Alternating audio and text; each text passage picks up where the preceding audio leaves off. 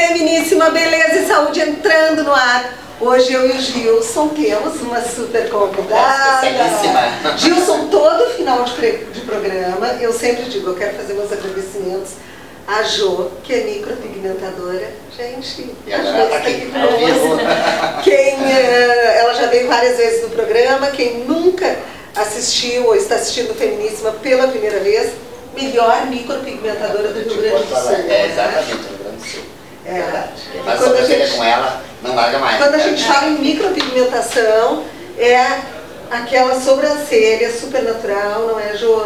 Muito entrou no mar, natural. entrou na piscina, saiu igual. muito natural, com uma durabilidade boa, né?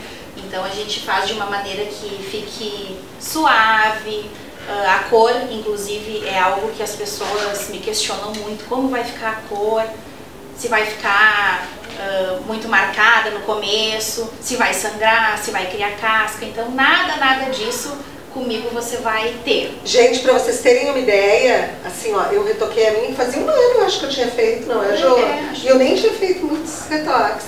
Eu retoquei a minha na- no final da semana passada, nós estamos gravando hoje, é terça-feira, Ela- ó, não tem marca nenhuma. não tem marca e ela ainda está em processo da cor É. estabilizar, né? Tem a questão dos 15 dias, então é bem interessante, porque tu não passa por aquele sufoco, né, É Carmen? verdade. Tinha compromisso, inclusive, É, mas tinha um ficou- compromisso e fui direto. Não fica com aquele aspecto, né? E uma coisa interessante, que eu acho que com certeza tu vivencia bastante isso, às vezes a cliente quando chega pela primeira vez, às vezes com um pouco de receio. Sim. Né? Ah, eu não quero, porque embora a sobrancelha está super em alta hoje em dia, né? Uhum. mas as pessoas às vezes têm aquele receio de aquela sobrancelha definitiva de É. antigamente, né? Que ficava aquela, Azul. aquela coisa azulada, né? E a pessoa fica com medo. Uhum. Até teve um dia que tu estavas aqui fazendo cabelo e eu te apresentei para uma senhora, te lembra? Que ela, Sim, que ela falou sim, que tinha um certo receio de, de fazer e ficar aquela coisa assim muito meio agressiva demais, né? E justamente o trabalho que ela faz é, o- é o que não E você acontece. falou com a senhora super e a loira de Santa Catarina que veio pro casamento foi lá Exatamente. fazer. Foi lá, viu só? ela ouviu É, e foi lá fazer. é. Não, e a, a Jo está aqui hoje porque a Jo trabalha em parceria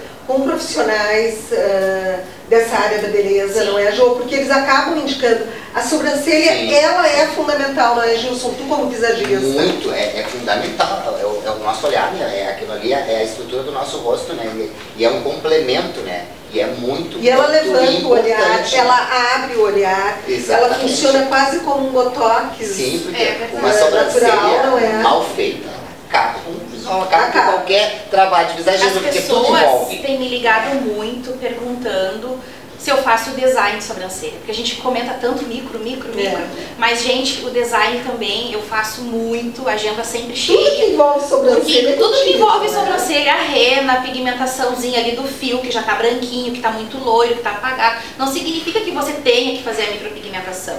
Outro detalhe é se por acaso ah, você tem receio que fique escura, a Josi aqui faz uma cor bem suavezinha pra te, te acostumar e você volta 15 dias e eu pigmento de novo, porque a gente tem que entender a- a- o medo da pessoa, sabe? Claro, a pessoa tem receio, então tu não pode fazer o que eu quero, eu tenho que fazer o que vai deixar ela satisfeita, mesmo que temporariamente. Aí ela vem cheia de, de, ah, confiança e aí ela volta e agora tu pode fazer a cor que tu disse porque meu marido gostou, meu filho gostou, minha cunhada vai vir fazer. Então é isso aí que, que o profissional em todas as áreas Sim. tem que entender. Não é o que ele quer, é o que vai fazer com que o cliente fique satisfeito.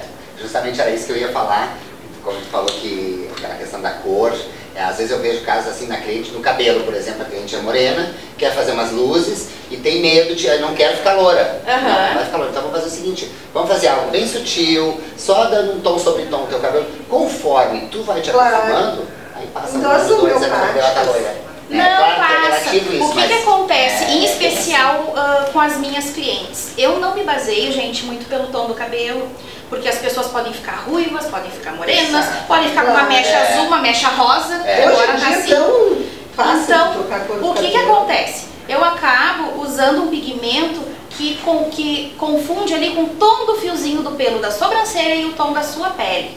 Então, independente da cor, agora ah, vai passar uma foto, olha essa foto que está aparecendo. Por exemplo, todas essas, essas meninas que fizeram, eu fiz de acordo com o tom da pele. Então aqui você vê que tem loira, que tem morena, Claro. mas no, geral o rosto tá harmonioso. Não, e eu adoro é dar assim, ó, o meu depoimento. Eu passei por muitas micropigmentadoras, nenhuma uh, durou na minha pele pouquíssimos não dias, não era nem meses. Saía a casquinha, saía tudo junto. E a única pessoa que eu me acertei mesmo foi a Jo. É por isso que ela está aqui. E a gente quer dizer que vem muita novidade esse ano, porque as pessoas tiveram curso até que chega e vão ter alguns cursos com vagas limitadas e a gente vai anunciar aqui no programa. Então hoje é só assim, ó, para vocês ficarem com as anteninhas ligadas. Jô, assim, ó, muito obrigada. Tu sabe que eu amo, admiro, adoro o teu trabalho. Obrigada. Quem quiser ir lá conversar com a Jô, o telefone está aqui no GC, os contatos estão todos aqui. Ou se você perdeu, liga para a nossa produção que a gente passa.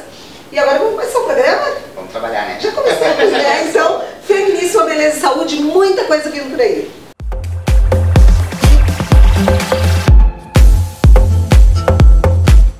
E agora nós falamos direto aqui da Sala dos Milagres. Aqui é onde os milagres acontecem, não é, Dani?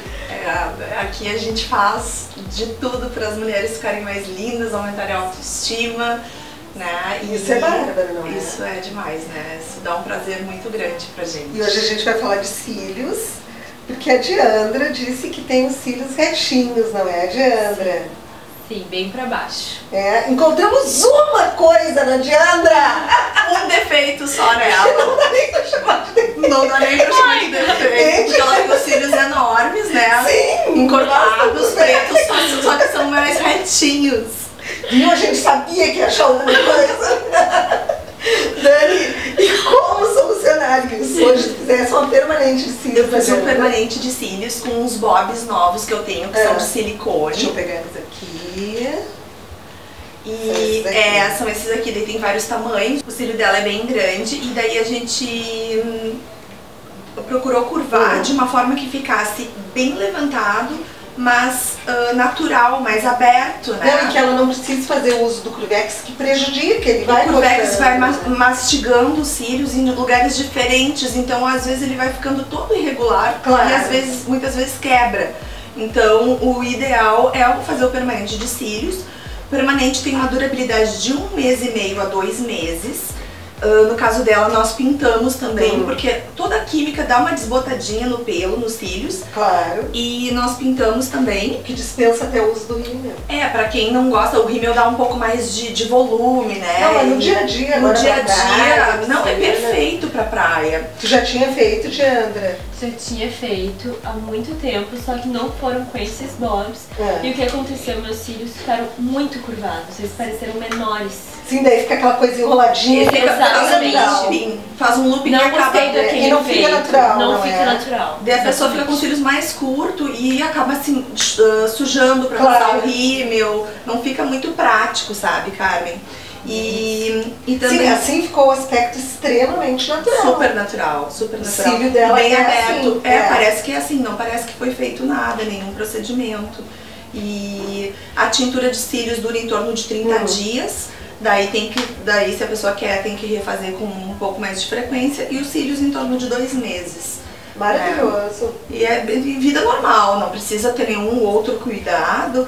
Se a pessoa tem o cílio longo e reto é o ideal, é não, perfeito para isso. com o cílio viradinho e ainda pintado, Sim. não tem coisa melhor, é um é? charme, né? É um charme. É um... Já guarda pronta. Já guarda pronta, eu disse, é uma facilidade, né? Claro.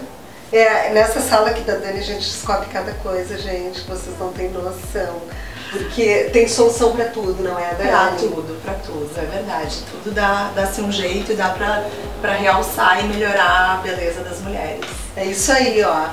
Permanente de cílios já, mas com silicone aqui na Dani para ficar com aspecto natural. Isso aí. Obrigada por hoje. Eu que agradeço. Obrigada, Diandra.